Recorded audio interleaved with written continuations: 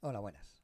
Bienvenidos a este segundo vídeo de la serie donde vamos a ver cómo llegar a ser un programador de PLCs en Alemania y ganar un montón de pasta. Sí, sí, un montón de pasta.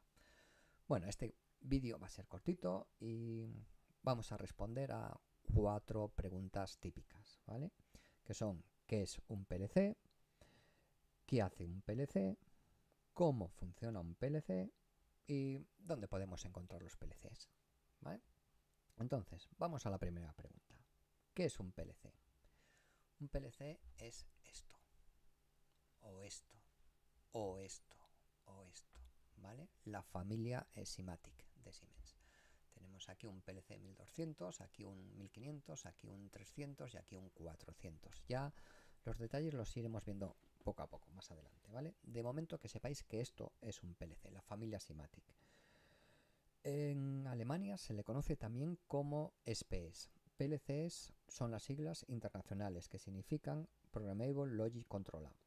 Y SPS significa en alemán Speicher Programming Bere Storum. Lo dejaré escrito en la, en la descripción del vídeo, por si tenéis curiosidad, pues lo podéis ver. Y ya está. Vamos a la siguiente pregunta. ¿Qué hace un SPS o un PLC? Pues bueno, eh, se puede ir uno, googlear, googlear ir a la Wikipedia, preguntar y posiblemente saldrá una parrafada terrible. Demasiado complicado, ¿vale? Eh, esto tiene que ser muy fácil, tiene que ser todo fácil, hay que pensar de forma fácil y avanzar, avanzar, avanzar. Fácil, todo fácil. ¿Qué hace un PLC? Pues un PLC, para mí, mi teoría, mi definición es una pequeña computadora que controla una máquina. Y se acabó. Fácil, fácil. Seguimos avanzando. Vamos a la siguiente pregunta.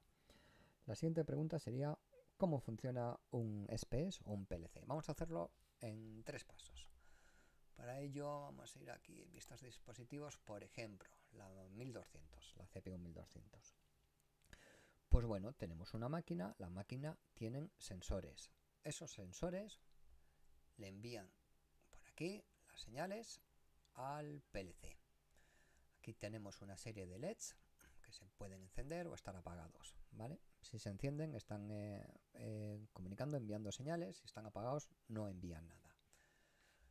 Después, nosotros a través de este puerto hemos eh, introducido el programa, PLC? Pues bueno, eh, lo que hace el PLC es em, procesa ese programa con las señales que ha recibido de la máquina y depende de lo que, lo que esté programado, él envía, saca unas salidas por este lado. La misma historia. Si están encendidos, está sacando señal, enviando una señal. Si no están encendidos, no envía nada. ¿Vale?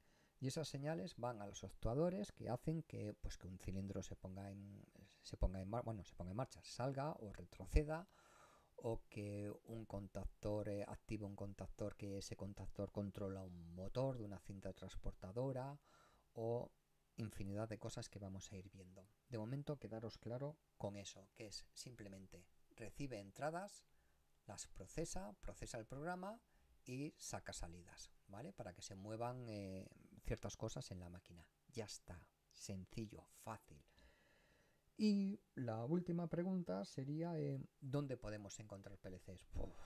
aquí en Alemania, por todas partes. De verdad, por todas partes.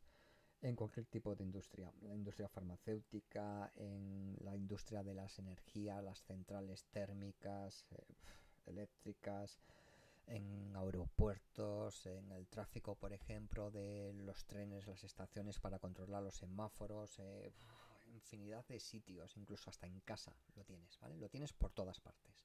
Por eso hay tantas demandas de ofertas de trabajo para programar PLCs.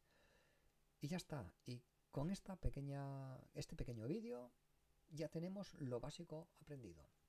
Ahora, en el siguiente vamos a, explicar eh, hardware. Pero hoy no, mañana.